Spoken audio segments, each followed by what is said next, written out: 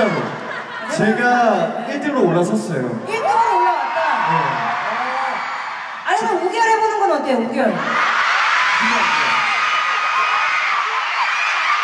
여러분들 잘 생각해보세요.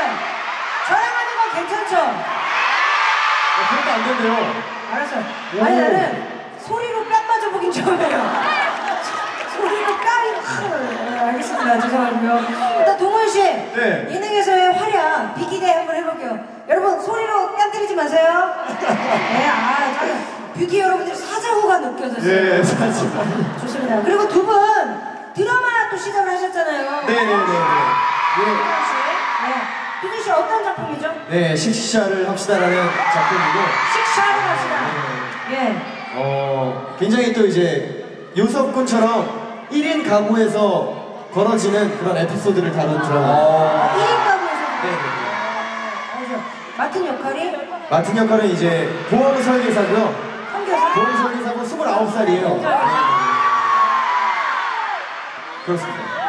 그럼 보험에 대해서 공부를 굉장히 많이 하셨을 것 같아요. 보험에 대해서요?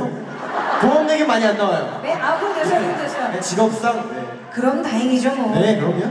아니, 그러면, 어, 드라마를 위해서 혹시 특별히 좀 준비하거나 좀 누구한테 배웠거나 누구한테 조언을 얻었거나 혹시 기강 씨, 네. 기강 씨도 이번에 드라마 들어갔잖아요. 네, 네.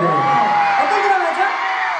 어, 스무 살이라는 드라마예요. 잘. 어, 반호심이지만 스무 살 역할을 맡게 됐고요. 네. 거기서 맡은 역할이 어, 대한민국 최고의 아이돌, 최고의 아이돌 비스트의 네. 역할을 맡았어요. 그 기억하세요? 이게 이거 그대로 가네. 네, 제가 역을 맡았어요. 아, 기강이가 기강이를 맡았구나. 기광이가 기광의 역을 맡았어요. 재밌네요. 어, 네. 좋습니다. 아니, 그럼 혹시 우리 현성 씨나 동훈 씨 연기하실 생각 없어요? 자, 연기 했어요. 어, 네. 모차르트. 모차르트. 뮤지컬. 아, 뮤지컬. 뮤지컬도 했고요. 뭐 이번에 뮤직 트러메이커 뮤직비디오 했는데. 저 연기 아니에요? 아 어, 여기 맞죠 여기 맞죠. 여기 맞잖아요.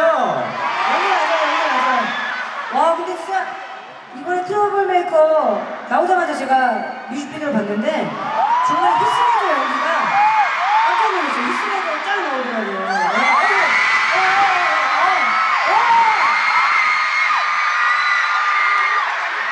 어, 와 깜짝 놀랐어요. 예.